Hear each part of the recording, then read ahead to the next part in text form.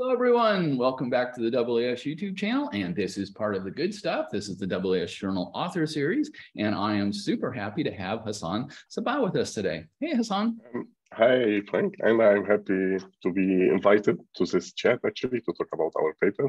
Well, thank you very much for writing that very lovely article and being willing to talk about it. It's great. We'll, we'll get yep. there. Very cool. Uh, Hassan, where are you located at? I actually work in Toulouse, so it has been 10 years that I'm here. And it's a very lovely area, I would say, in terms of um, weather and food, especially. Oh, well, food. So, oh, I mean, you know, what, what, are we to say about that? so you have good university, good weather, and good food. So right. you should be happy as a researcher, I would say. Well, so, I'm gonna have to. I'm gonna have to come and visit you over in France. Of course, there. you will be welcome. Have, we can have a meal. We can share some fine French wine. It'll be great. Exactly. very cool. Very cool. Uh, yeah, it is July 7th on 2022 as we shoot this, and summer is in full roll in Phoenix. And uh, I imagine is in France as well. Or you guys hot this year? Because sometimes I hear that you guys get heat waves rolling. Yeah, actually, we get like a very big uh, heat weather back two weeks back, and mm-hmm. that was exceptional because we had that generally in July, August, but not mm-hmm. in June. So that was very bad, I would say, for some agriculture people oh, because it was very warm, like strictly very warm, going up to 40 degrees Celsius. Mm. I'm very bad with Fahrenheit, even though I lived like three years in California, but I still very bad with Fahrenheit and, and temperature units. I would well, say. 40 C sounds like something in Phoenix or something like that. Exactly, exactly. right. Well, it'll still keep the wine and the food, so I'll be visiting. Yep. very cool.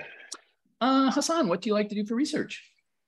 Actually, it has been, I would say, at least 12 or 13 years that I like to analyze basically astromaterial, cool. the ones that we synthesize in lab, or mm-hmm. actually the ones that we can receive for free, such as meteorites or sample return mission.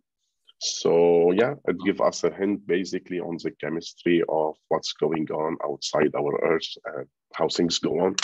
No. So yeah, mostly mostly I like developing experimental technique to be able to probe these kinds of material or to analyze the molecular composition of this material cool. and apply that to astrophysical basically problematics that we have. Mm-hmm. Very nice. Actually, actually, to make it short, basically in this paper we talk about fullerenes, but I spent most of my research working on PAH, polycyclic aromatic hydrocarbons, mm-hmm. from astro point of view and from chemistry point of view. So yeah. Very nice.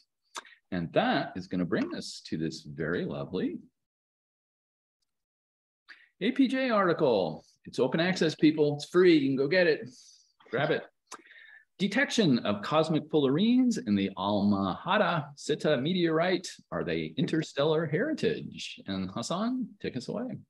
Yes, actually, this work is, I would say it's related somehow to my postdoctoral work mm -hmm. on Almahata Sitta.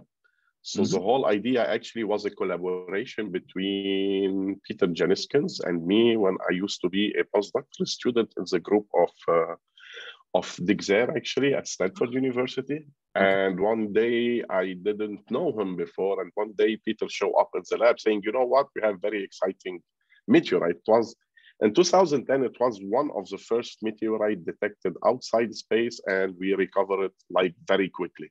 Cool. So that was very nice and mm-hmm. we worked on that and whatever the history came up and when i get installed in toulouse with the new experimental setups that we use here okay so i work most of the time with christine joblin which is also the research director of the program that i work mm-hmm. michael carlos was a phd student that worked with me during the past uh, three years actually yeah in france the phd is a three years it's not like five, six years, five, I would say. yeah, yeah, yeah. Well, how nice, how nice. yeah. And Muawia is one of the responsible of this meteorite back at the University of Khartoum, who organized basically the consortium on site to collect it. Uh-huh. And Cyrena Goodrich also is one of the PI of this uh, Almahata Sitta meteorite, and she is expert on the ureilite formation body. So that was very nice. Okay.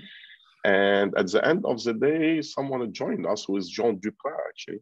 Oh, he is okay. from the Sorbonne. So he is mostly physics, physics nuclear uh, expert and cosmo more about cosmochemistry and stuff like this because detecting molecule and we talk about it detecting this molecule could be easy somehow if you have the right experimental technique but explaining how they come here that is was the most tough part i would say right.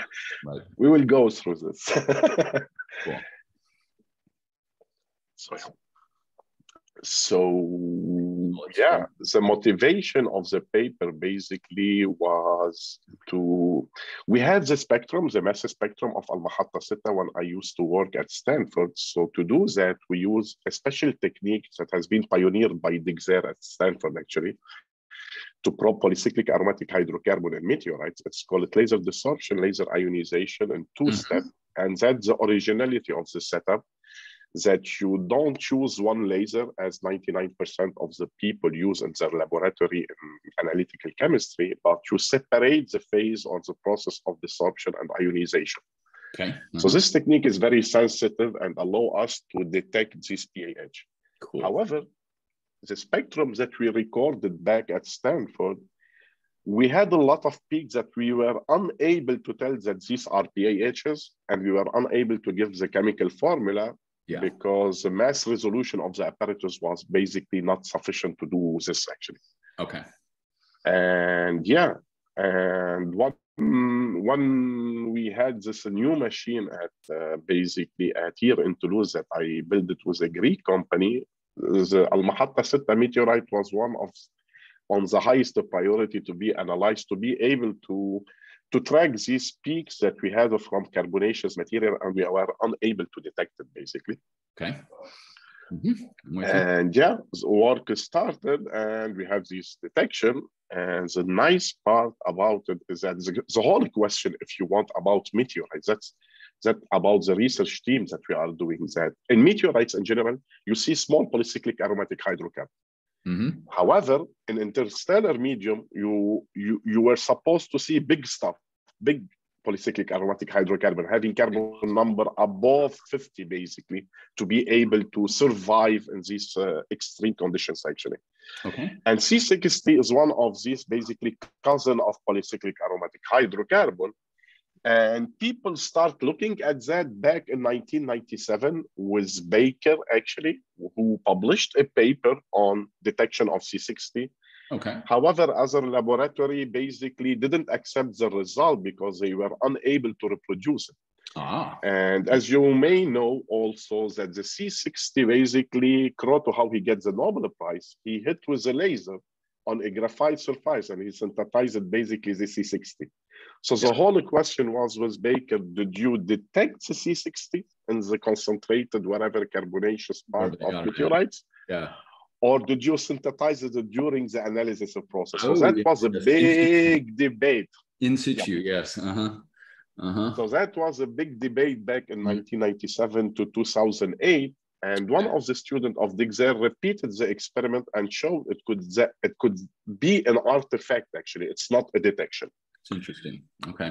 So, um, so my collaborator, which is Christine Joblin, and this research, she's very knowledgeable about PAH and C16's interstellar medium. And that was always this question, why we don't see them in meteorites, right? so we look to the mass spectrum of Almahata Sitta as a back one, and we see that we go up in mass up to 330, 350, okay. and we are unable to analyze that. So this the, the, the, idea was to go and to analyze. So we get a first mass spectrum in the range of 100 to 350. Okay. Which is what which is on the figure number uh, two or three, I think. Let's take And yeah, this will not be linear, but that will allow me to tell the real story actually about the detection if you want, uh, stories, uh, Frank. Stories are good. Stories are good. So here's figure two. Is this the one you want? No, not this one, the third actually. Third one? So the first, uh, ah, no, not at all. No, sorry. I'm missing. It's, uh, sorry. It's the ones that shows the chemical diversity, sorry, on figure five, basically. Figure five. We'll go to figure five. So when you see the mass spectrum from 150 to 500, you could see that you have, for example, like polycyclic aromatic hydrocarbon with their formula such as C14H10 near to C15 mm-hmm. that show you how we can separate mm-hmm. between basically nice. A 15 hydrogen atom and one, uh, sorry, 12 hydrogen atom and one carbon atom, like okay. C16 and C15H12. Mm-hmm. The most remarkable, basically, fingerprint was starting at 360 to 380. As you can see, you go from C28, C29, C30, C31, C32. Uh-huh. And after that, you started jumping by two carbon atoms. Okay, yes. Uh-huh. C30, C34, C36. So mm-hmm. we stopped here because the signal dropped. And in generally in mass spectrometry, you have like a kind of a blob and the signal drop. Yeah. And we didn't go upper than that. And we were discussing this inside the project, inside, and everybody tell me, Hassan, did you see that before? I told them, no, that is the first time that we see that. Cool. So that was very exciting because yeah. switching from one carbon atom to two carbon atom, that means that you are probably having a fullerene chemistry that could synthesize C60 and C70. Mm-hmm.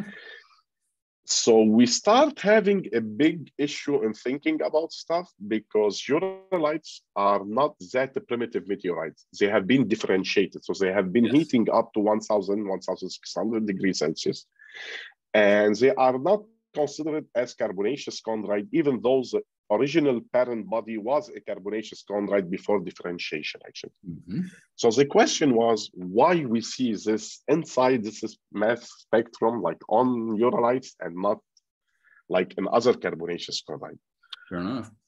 So we decided to go further, and that's going to bring us probably to the figure two, where we see basically the, the fullerene distribution. And we started basically by sample number four, which is one of the bottom. On yeah, so spectrum number four, that was the first fragment that we analyzed at Stanford. We wanted to repeat the same experiment actually. Mm-hmm. And we start seeing these fullerenes. So basically during this analysis, Peter Jenniskens was visiting Toulouse to give us a seminar in the lab. And we said, you know what, we should try to do this experiment together.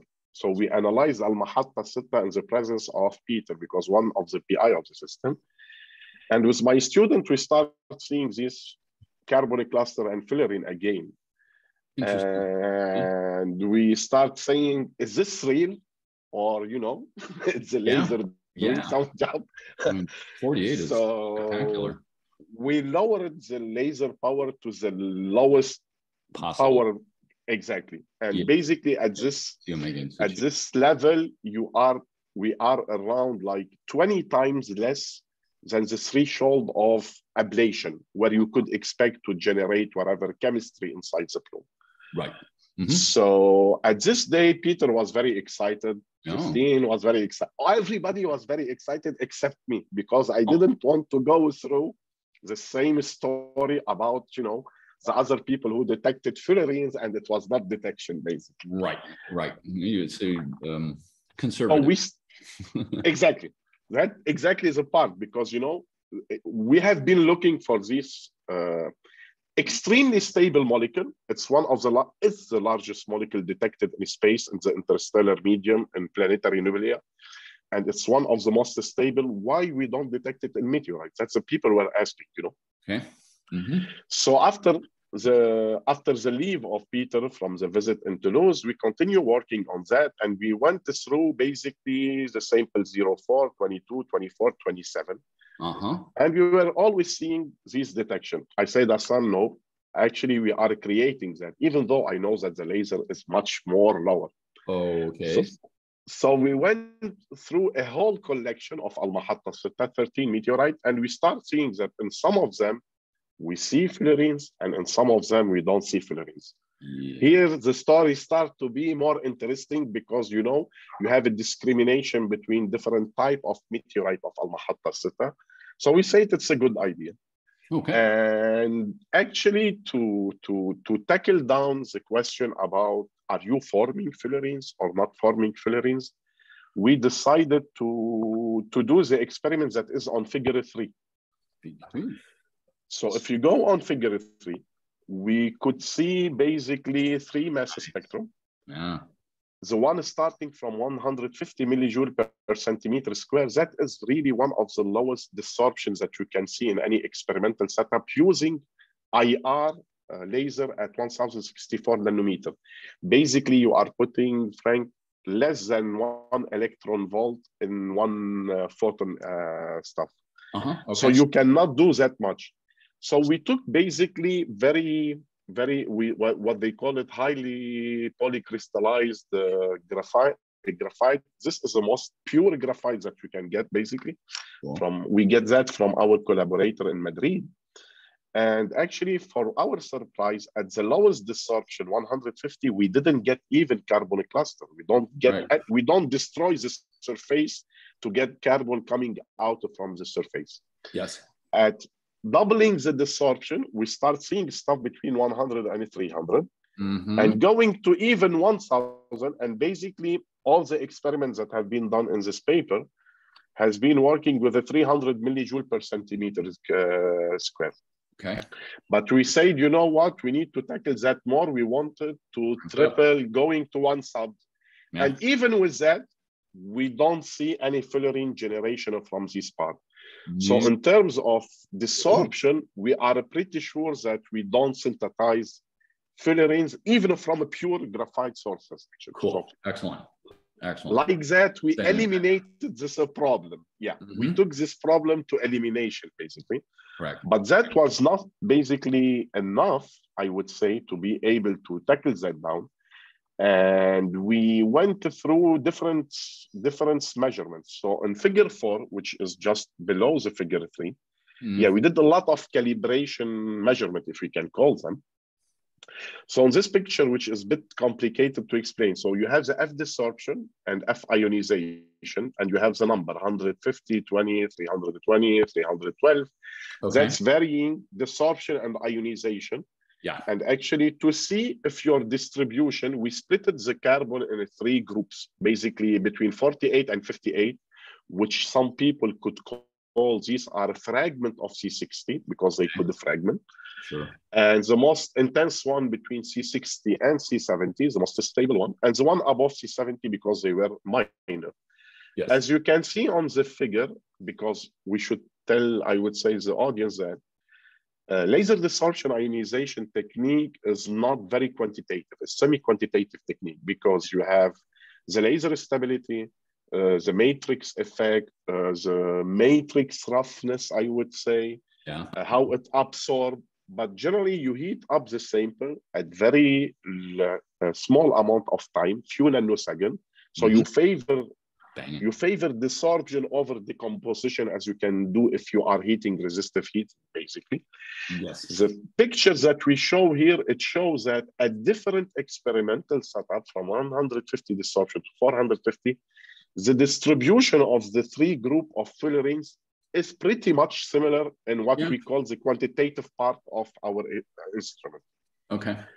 Mm-hmm. And we say, you know what? We know we wanted to go for the, the different samples that we have, and we did the same the same measurement, like the 3B exactly, to show how this distribution are somehow little bit heterogeneous in different of them, especially the one uh-huh. above C70.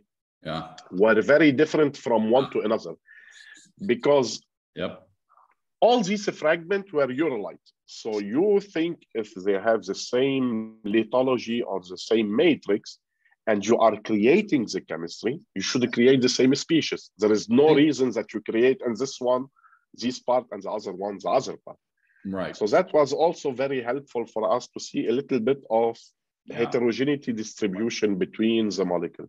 Yes. And if I can come back to the figure number one, I would say, to just to explain a little bit the experimental technique for non for astrophysical people, generally they are not very knowledgeable about, I would say, analytical chemistry uh, mm-hmm. stuff.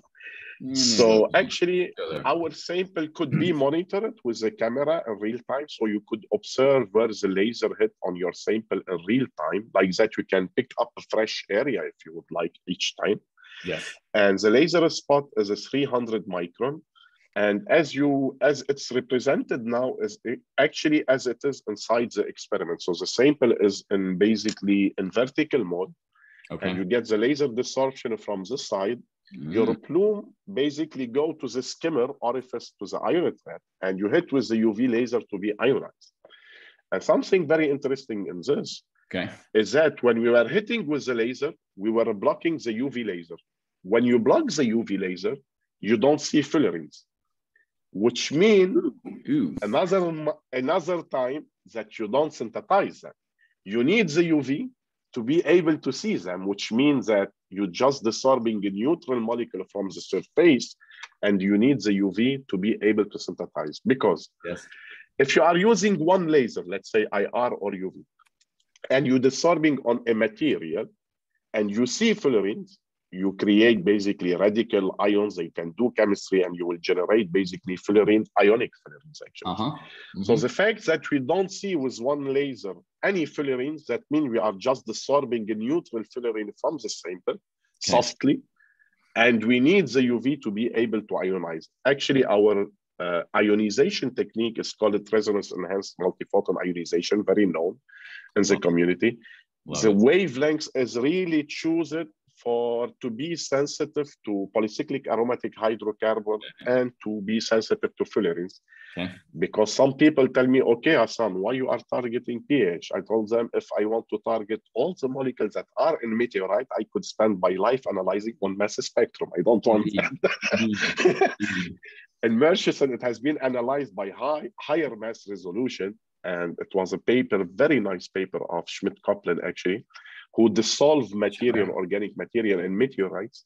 And he shows that we have at least 10,000 molecular formula, which means that the diversity wow. is a huge. Yeah. I wow. don't want to go through this. I want to be limited to the part I'm interested in. so for the, basically our technique is extremely sensitive. We are sensitive to the attomole level. Yeah. And we made an estimation with a molecule such as coronene or fullerenes, you can detect few tens of thousands of molecule per laser shot, basically. Ooh, good. So after the ions are created, we oh. have something very interesting. We have an ion trap. It's specially designed, call it linear quadrupole ion trap, in which you have different segments.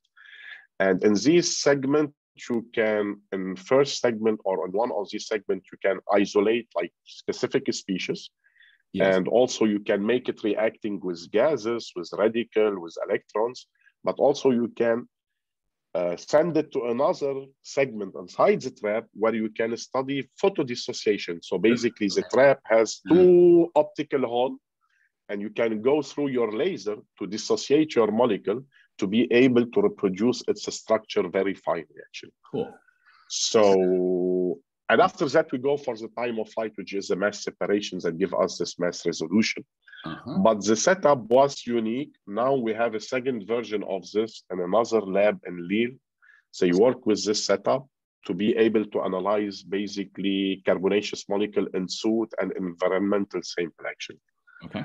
So yeah, and I would say I I worked a lot with experimental setup laser mass spectrometry and I worked with the one at Stanford, but it didn't have ion trap. It was just L2MS, like laser desorption, hmm. laser ionization, going to time of flight. The fact that we put this ion trap in the middle yeah. increases the sensitivity for really humongous amount. Like nice. I would say I used to be working with one meteorite sample at Stanford for half an hour, an hour, and after that your signal will drop, of course. Okay. On this meteorites, yesterday, I analyzed the sample for just to make a test because we are running some other sample. Okay. So three years after I analyzed the sample for the same one, I was able to reproduce the same mass distribution with some elements that are missing. that means that you are really having a very sensitive technique, basically. And stable. That's what made us detect this fullerenes inside, actually. Mm-hmm. Mm-hmm. So that's about, I would say, the experimental technique. And mm-hmm. the other question was because especially Peter and Cyrena and uh, Christine was not knowledgeable. She's more astrophysics and planetology and let's say solar system bodies such as meteorites. So everybody was saying, you know what, how you could detect C60 inside meteorites such as Ureilites, this one, Yeah. And you don't detect it in Murchison because the first paper with this experimental setup was on Murchison meteorites. And we didn't detect basically any fullerenes. And we didn't detect this carbon cluster. Okay. That bring us, if you want, uh, Frank, to the figure number six, just to show the diversity or the chemical diversity difference. Hmm? And since we talked about one equation inside all this paper, so inside this paper, we have equation one, which give you what we call it DBE. DBE, it's double bond equivalent for chemists.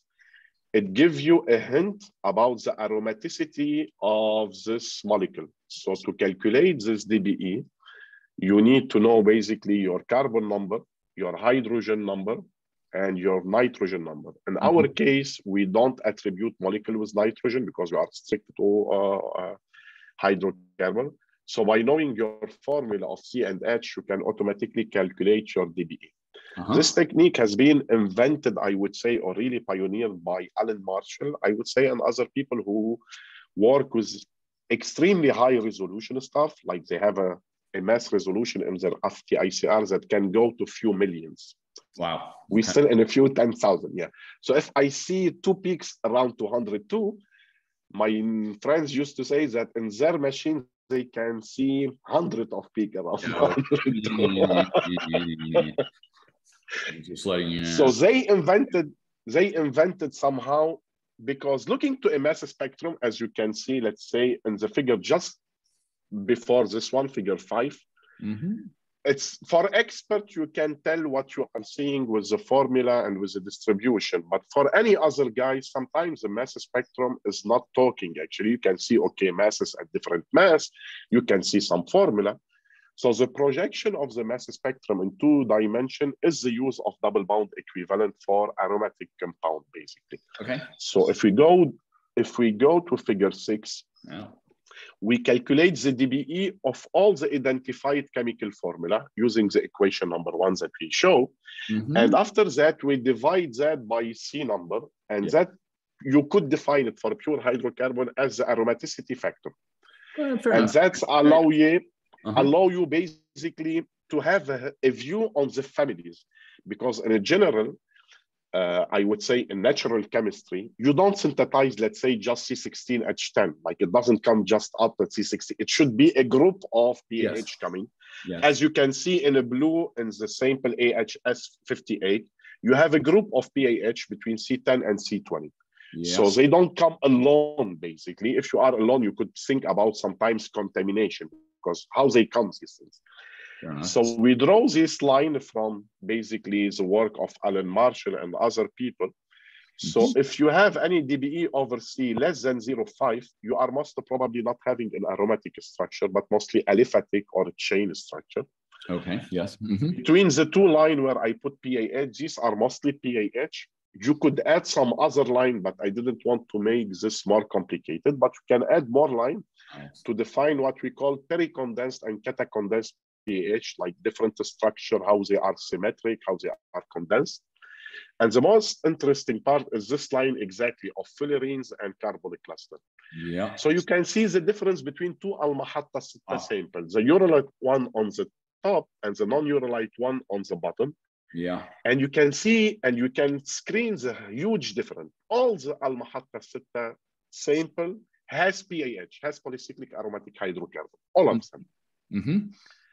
But the ones that have fullerene have additionally a huge amount of carbonic cluster and some what we call them we don't find the name so we call them hydrogenated carbonic cluster okay. so carbonic cluster oh, oh, are the one okay. with a pure okay. carbon mm-hmm. and the, the the planar aromatic line which is the orange line it has been defined by the work of alan marshall and collaborator where basically they run ton of sample with their basically high resolution mass spectrometer, and they didn't find any pla planar aromatic molecule that could have a DBE over C above this point, actually.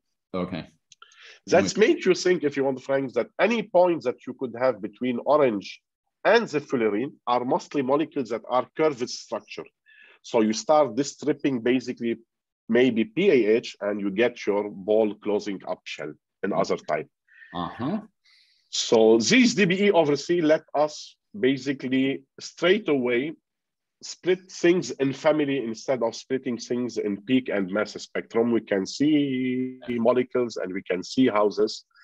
And you can see also the difference in carbonaceous intensity, even though we are not quantitative, but we could have a hint about it. So the, the PAH inside Almahata Sitta, you can see them, they are colored in red and wine, which means that they are very intense. Mm-hmm. And the one non-ureilite, you can see the signal is very low. We yeah. have them, but they are not intense. But PAH are in all the sample. And that's what make us confident about the new result because in 2010, on our first paper at Stanford, we analyzed basically nine, seven to nine sample, and they all contained PAHs. Okay. And here in this paper, we have the same result. All the sample analyzed contain PAH, but not all of them contain fullerenes and carbon cluster actually. Fair enough. I'm with you. Mm-hmm. So that's allowed us to start thinking about the difference about this molecule. And we decided to plot in figure seven, basically the distribution of family per per uh, molecules or per uh, sample, sorry. Okay. So you have fullerenes, PAHs, HC cluster, and carbonic cluster. So okay. PAH, as you can see, they are everywhere in all yeah. in all the sample of Almahata Sitta, which really confirms the result of 10 years back. So here we were very happy. Good. Carbonic cluster, as you can see, and the, the ureilite one are with the gray bars actually. The non-ureilite one okay. are mostly chondrites, sulfide, or whatever. I'm not the expert in this, but you can see the drop in signal in carbonic cluster. So the whole question yes. that we still think about it, we don't see fullerenes in this one. Is this related to the matrix carbon that we have and it's not enrichized inside the non-ureilite one? So uh -huh. for that, you don't see fullerenes? Because we are detecting basically this level of a few ppm of fullerenes. We estimate it to be few ppm. Okay. So if you can look, the carbon cluster signal in the non-ureilite sample 41, 58, 1001, 1002, 1054, and 2012 yeah. is extremely low compared to the ureilite one.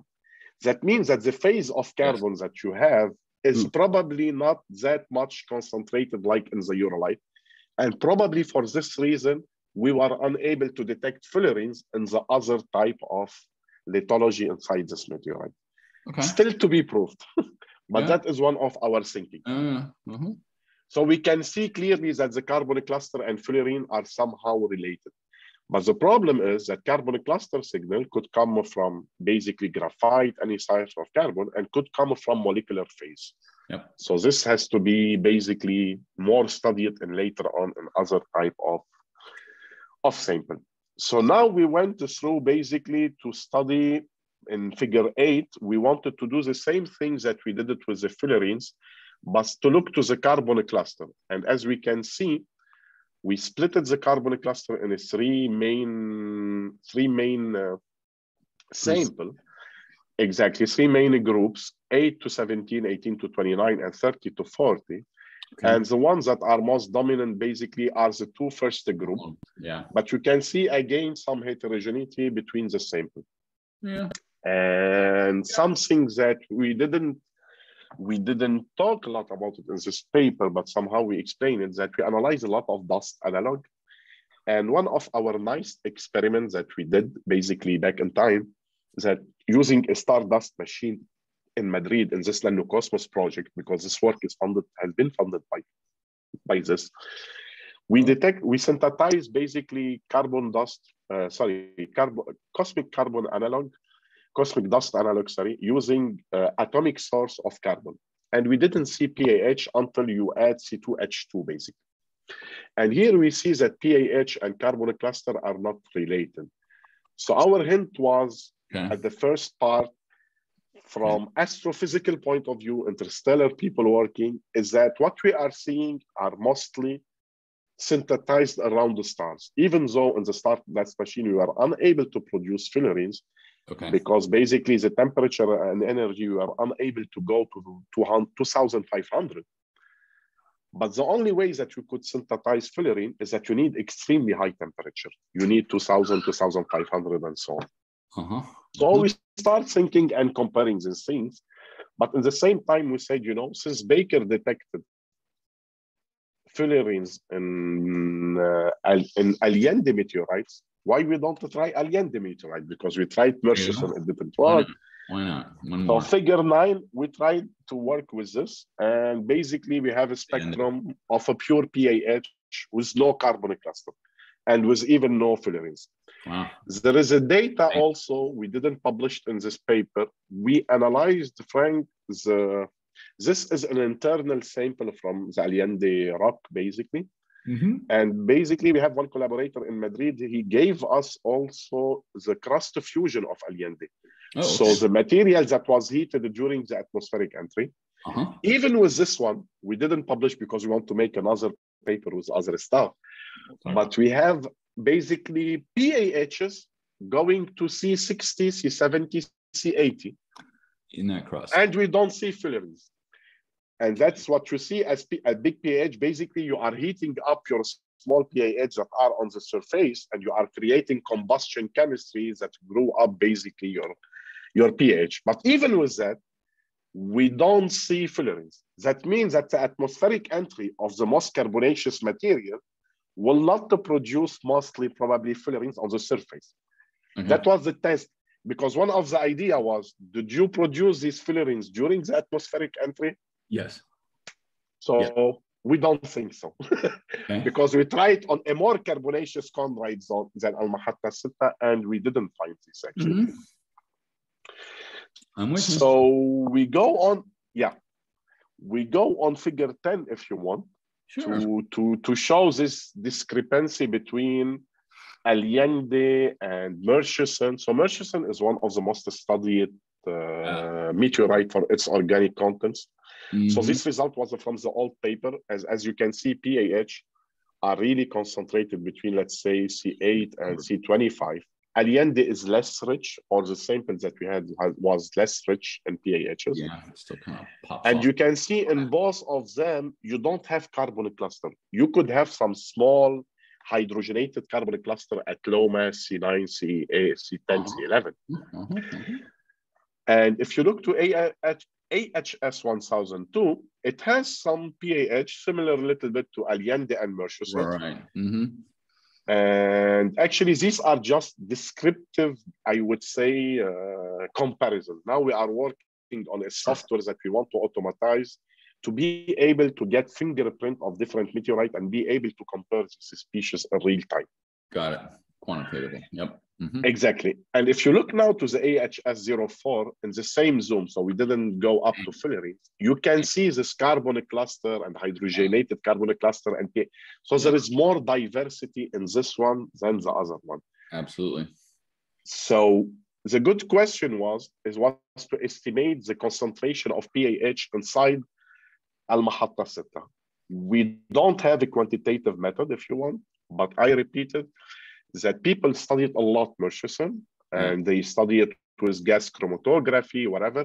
So they estimated the, the, the, the, concentration of PAH in Murchison to be around the 20 ppm. Okay. And if we go to, to figure 11, that will be talking about this, I would say, give, mm, give us a hint that show us basically uh, the sample and the distribution. So we plotted PAH, and indene and pyrene are two PAH that are very known. I will say why we pick up them. Okay. And the other family are HC cluster, carbon cluster, and fullerenes. Yes. So as you can see, in all the meteorite, PAH dominates. So we compared the concentration that we have from Murchison and with the signal, the one with AHS, they should be the same. So you should be around 10 ppm for PAH and Almahata Sitta. So fullerenes in that case are somehow compared with one order of magnitude less, wow. which allow us basically to say that the distribution of fullerenes that you have is a few ppm. So you need a very sensitive experiment because the quantity of carbon inside ureilite are extremely small, less less concentrated than Murchison, and you have a few ppm. Yes. So I made some some estimation in Murchison. If we take one milligram, generally we have 50 nanogram. So in general, we put one to two milligram on our sample, and your laser shot is around the 300 micro over six millimeter diameter. Right. So basically, you are looking for femtogram per laser shot to be able to detect them. wow. So yeah. wow. Here is the difficulties. That is the main difficulties of probing this native basically material inside. Yeah. Indeed, it's a new molecule. It's the first PAH that has been detected in space by its rotational uh, spectrum. Vibration. It has been detected in 2021. Mm-hmm. And that is the first because Yeah. PAH has been detected for a long time Yeah. in, uh, in an interstellar medium, but none of them has been identified. So the idea was to just to plot. Pyrene is the most famous because there is a big role for pyrene in the synthesis of PAHs and mm-hmm. to grow up for higher molecules. So as we can see, Allende Murchison, they contain just PAH and some HC cluster. Yeah. But the spectrum of, we go again, the spectrum of furolite is really special, and especially this furolite. So here is, it comes the big story, because I told you the nice part about this paper. Okay. it has been three years we are going through the reviewer because everybody was very excited when submitting this paper telling us you know what? It's a very nice detection. No one did it before. But what where they come from? That's the big question. That's the question. where exactly. So we start to think about it and actually as a first hint naive question for christine and me who are not the expert let's say in meteorite we said you know what the only way to synthesize c60 in space is that how Kroto said, he said it should be synthesized around the stars. There is other theory about the Okay. synthesis of C60. It's Uh-huh. what we call it the top-down chemistry. So you go from a large PAH, Yeah. you strip it with UV and cosmic rays, and it will fall down inside the C60 ball. Yes. So both are basically argued in the astrophysical community. Here you can find this chemistry, here you can find this chemistry. Both of these scenarios point to an interstellar origin. So when we start talking with Peter and with Cyrena and with the reviewer also, we are sounding the paper, they said, you know what?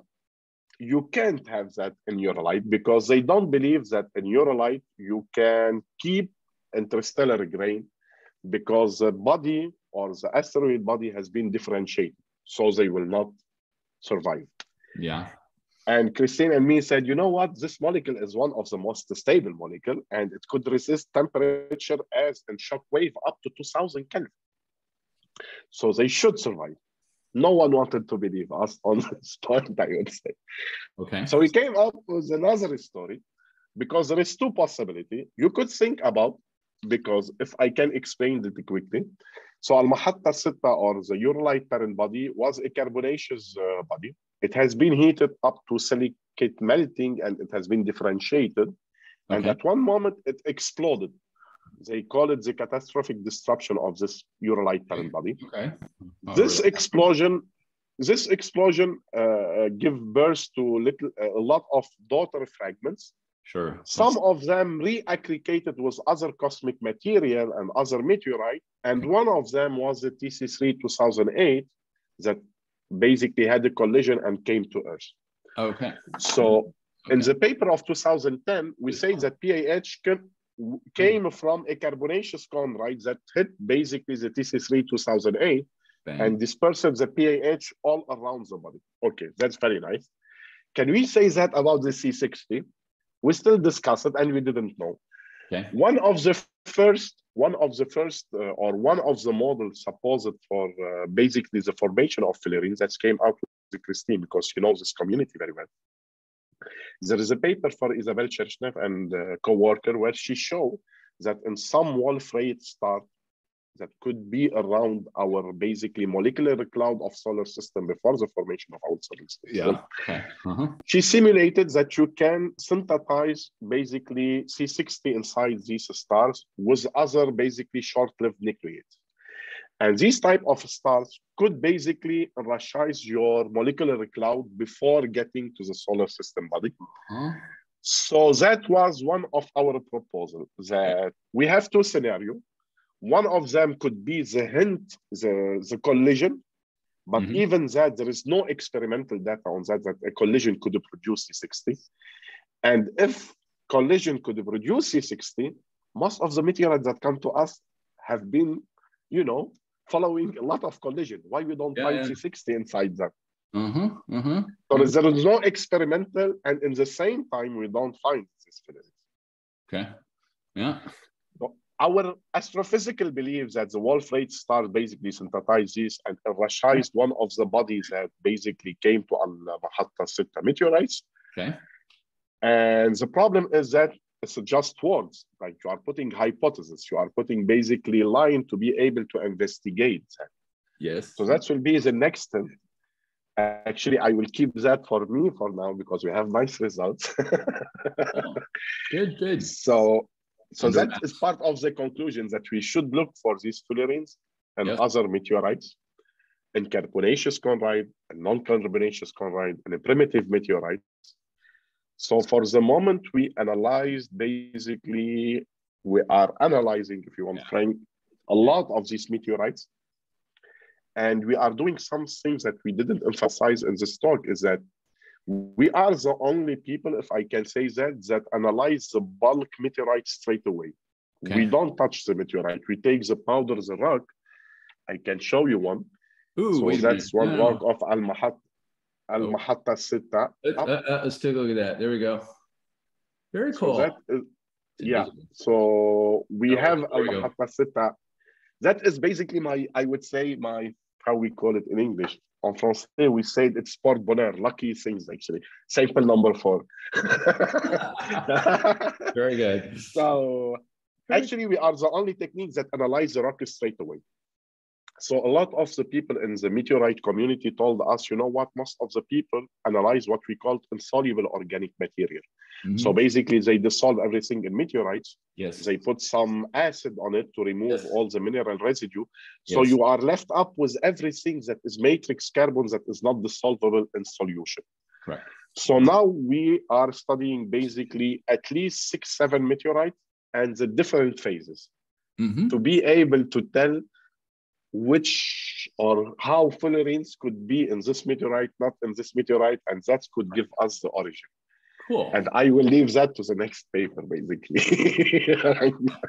awesome. But so, yeah. so you, you did you did hint a couple of times there, um, you know, and toward the end um, uh, of, of paths forward. And so um, yeah. Ask, you know, where do we, other than your new your new publications coming, um, you know, where where do we go as a community? Let's say over the next two to five years, or is there additional uh, observations that can be done? Maybe JWST can hit some some of these things. Exactly.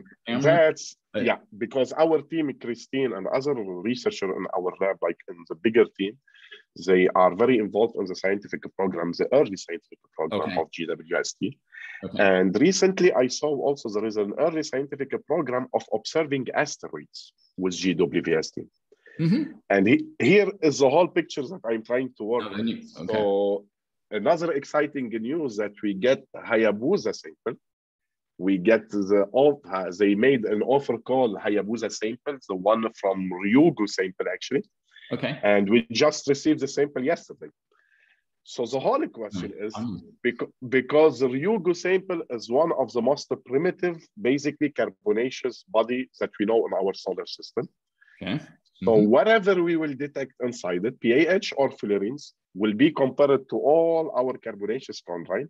And like that, you can really have a hint about the origin of these species. Yeah, nice. The problem until now if you look to PAHs, polycyclic aromatic hydrocarbon, what we see are small compared to the one in interstellar medium, which are huge. Right. Not in the insoluble organic material. I will leave that for after, for the paper after. But the interesting point about C60, why we are hunting now C60 in all these samples, is that you have restricted way of forming uh, C60. So or you form it around the stars, or you form it in the interstellar medium. So these are the two places where you can really think about the formation of C60. So if we detected in a carbonaceous, a pristine material that has not been differentiated, yes, we can say this question has been tackled down and we can use that later on if you think about the laser desorption laser ionization technique, we are at 300 micron, but in parallel, we are trying to reduce the size hmm. of the laser to micron sample. If we develop more our sensitivity to C60 and we can see it in other meteorite, it could be used as an interstellar tracker or a chemistry tracker inside the sample by imaging the samples that you have. Yeah. So that's are the lines that we are working on in parallel to be able to basically to use this material as a tracker of chemistry of the carbonaceous stuff. So yeah, that is the future for us. awesome. Very nice. Well, I certainly look forward to, uh, you know, there'll be some exciting developments over the next couple of years. So I'm really looking yes. forward to seeing that. It'd be very cool. And there is another thing about the C60 that we cannot do in our apparatus, but has been brought up by Becker because a lot of people like how we said, said, okay, Becker didn't detect C60, it was an artifact. So now we are doing IOM of the same sample to see that. And I will not say the result, I will say it in the paper later. Okay, I'll be but, looking for it. I'll be looking but, for it. But she pointed up a very nice things about what we call it a trapping noble gas inside C60. So mm-hmm. she did some yeah. nice experiment where yeah. she showed that we can detect noble gas that are trapped inside C60. Okay. So that is the interesting part about the C60 in meteorite. It's not just to detect very exotic molecules that is very large, is that you can use it to track things actually yes. and track cosmochemistry. That is a nice part actually. Uh-huh. They're, they're yep. traps, right? Very cool. Exactly. Very exactly. Cool. All right. Awesome. Hassan, I want to thank you so much for walking us through your very lovely paper again. And everyone, that will do. And I hope this made your astronomy day or your astrochemistry day just a little bit better. And we will see you on the next one. Bye bye. See you. Bye bye.